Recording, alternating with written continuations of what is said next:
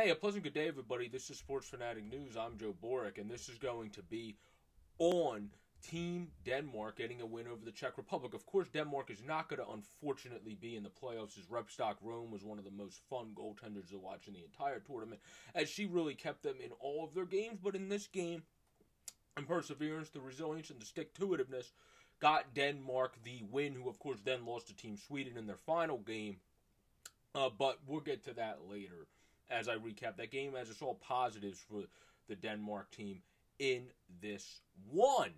Um, it, this was just a game again. Repstock Romme played well. Peslarova played well as well, but Repstock Romme played immensely well.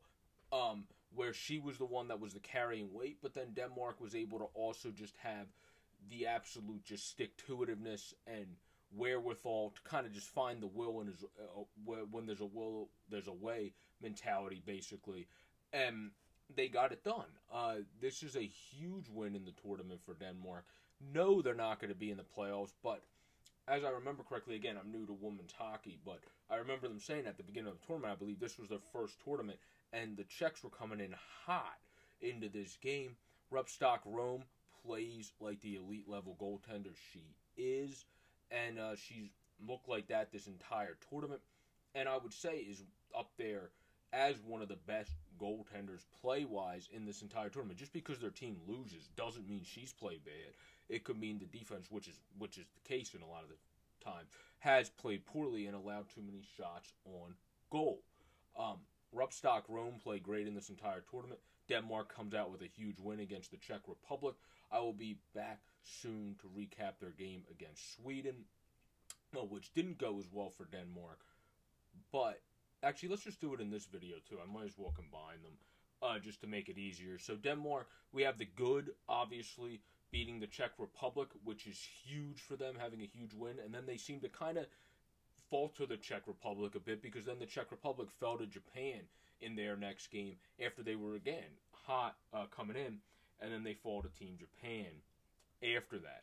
So that was interesting because I would have thought, honestly, Czech Republic would have beat Team Japan just from what I've heard from listening to people that know what they're talking about. Because again, I'm new to the sport of women's hockey. But against Sweden, Denmark, unfortunately, was not able to win and then go out with a bang. Soderberg played well. Uh, Repstock Romme, again, played really well. This game, though, I think was a lot more well played for Denmark, where after beating the Czech Republic, they played a really good game against Sweden. It's just Sweden has more star power, and that's sometimes what wins it in the end. I mean, they outshot Sweden. Uh, I thought in this game, the big thing was they had a 10-55 um, in the power play and zero power play goals. Um, if you're able to capitalize on that, this game could go the opposite direction, and Denmark could have two great wins between the Czech Republic and Sweden. And then in terms of seeding, they might have been, I don't know if they would have been in the playoffs or not, if that was the case. But Sweden, uh, they just they just found it and were able to capitalize on their power play when they only had 419 of power play time compared to the um, 1055 for Denmark. So the difference in this game to me uh, is the power play. If Denmark capitalized on the power play, they probably walk out with a win against Sweden. Um, but also the fact is that they might have ended up in OT because their power play or their their opposite side, the penalty kill, I should say, played immensely poor as well. So, but at least you could have, if you capitalized on your end, maybe got it three three, and had an overtime, and then anything can happen there, as us great hockey fans know. But this has been a reaction to Denmark's final games of the women's prelims. Best of luck um, going forward uh, for the women's team in Denmark as you play in different world championships and different tournaments going forward. It was a really fun team to watch. It's sad to see them go out of the tournament, but they bowed out with a bang against Czech Republic and then played a very good game um, against Sweden in their final game. Uh, they just happened to not win.